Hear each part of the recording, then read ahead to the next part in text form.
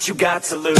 Got to lose, got to lose, got to lose, got to lose, got to lose, got to lose, got to lose, got to lose, got got got got to lose, got to lose, got to lose, got to. Yo, what's up, guys? It's Phenomenal Z. Today, I'm gonna predict the entire Money in the Bank pay per view, knowing that it will air live this Sunday.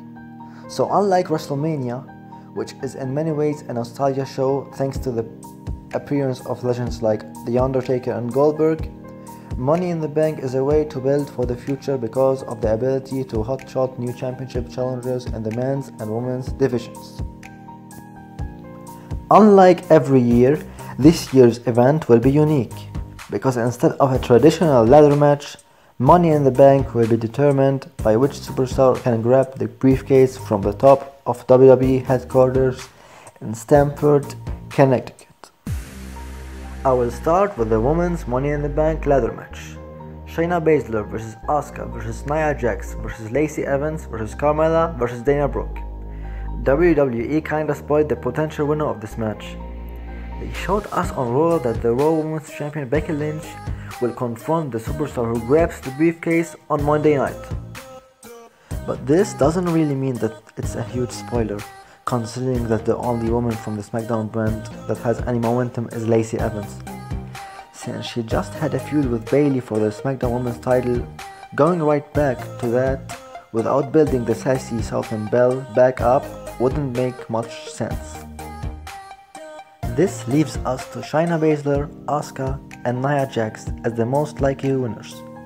Jax has received a monster push on Raw in recent weeks, including squashing a local talent on Raw after Mania and consecutive wins over Kairi Sane. She's also the kind of monster heel that Vince McMahon loves to turn to when he wants to put a champion over strong. But the real problem is that she is not talented and she can't perform very well in the ring. They won't make her win unless she's gonna cash in and fail. I don't see them putting the title on a woman that can't wrestle for more than 10 minutes. As for Baszler, if she wins, it would feel like traditional WWE booking. Although losing at WrestleMania, she still looked strong. Putting the briefcase on Baszler would allow WWE to go back to a feud with Lynch, either right away or later in the summer. That does seem like it could be in their cards because of how strong the former mixed martial artist was being booked leading up to WrestleMania. Asuka is the best all-around heel in the Raw Women's division. She was feuding with Lynch before Baszler entered the picture. Fans would like to see Asuka as Mrs. Money in the Bank because she's doing an interesting job without fans.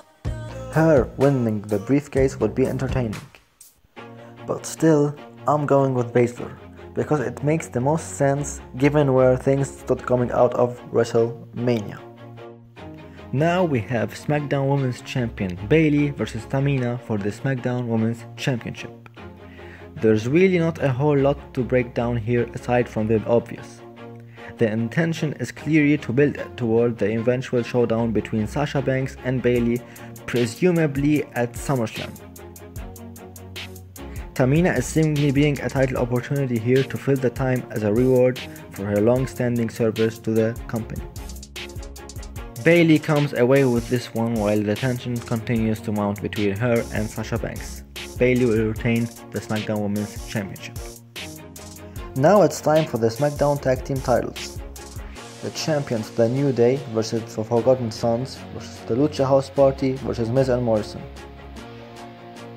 I don't seemingly see the New Day losing their titles in this one, considering that they recently won the titles.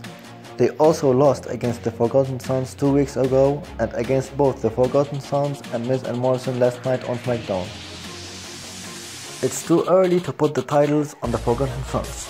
Therefore, they will not win the SmackDown Tag Team Championships this Sunday.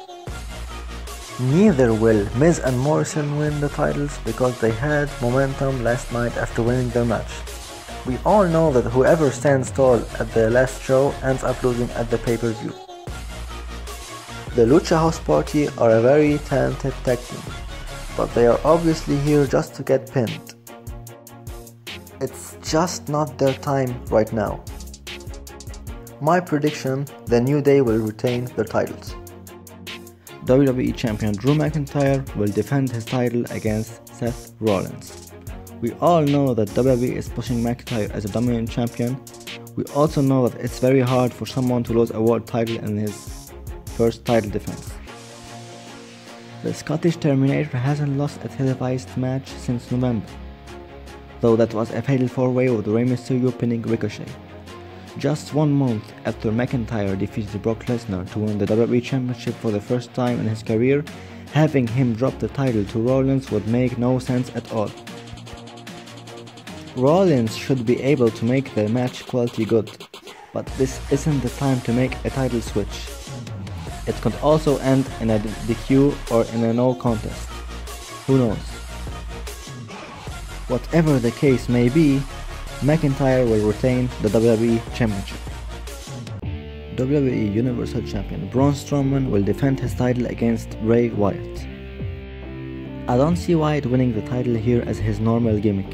It would make more booking sense for him to fall here and then come back to beat Braun Strowman as The Fiend at the next show or perhaps even SummerSlam.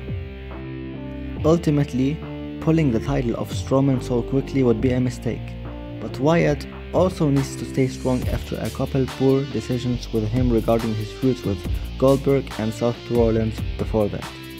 In the end, Braun Strowman will find a way to retain his title.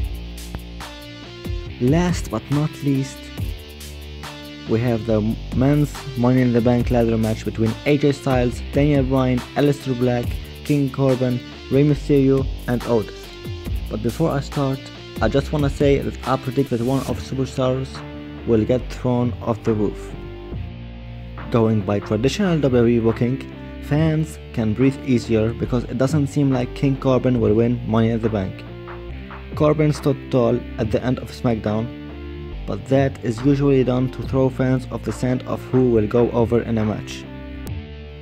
Rey Mysterio and Daniel Bryan seem to be in the match simply because they are a steady hand who can do cool stuff in a unique setting. Neither one of them will win. Otis is an interesting entertainer and he's very over with the fans. He's a great character who can challenge for the championship someday, just not now. I see him getting stuck in the elevation. Aleister Black on the other hand is a contender. We could see him grab the briefcase and win the WWE Championship soon. But I don't really think it's his time because he didn't do important stuff on the main roster yet. He always beats local talents or superstars in a few minutes. I also think it's too early for him to win a world title. The fans could turn on him if he wins. The phenomenal AJ Styles returned to Raw this week and he's coming off his own loss at WrestleMania. At least, he's won a match since then, to justify being in a main event bout. He's also a much better heel than Rollins and would make for a strong opponent in a feud with McIntyre. And after his huge promo on Raw, I think AJ Styles will win the Money in the Bank briefcase. And Mr. Money in the Bank can be phenomenal. And that's it for today. Thank you guys for watching my video. I hope you enjoyed it. And please like, subscribe, and turn on the bell icon for more videos. Peace. Let me break, break, break it all down for you. I ain't never give it up, I ain't never know I'm take, take, taking that crown from you. I ain't never tell you, I So let me break, break, break it all down for you. I ain't never give it up, I ain't never know I'm take, take, taking that crown from you.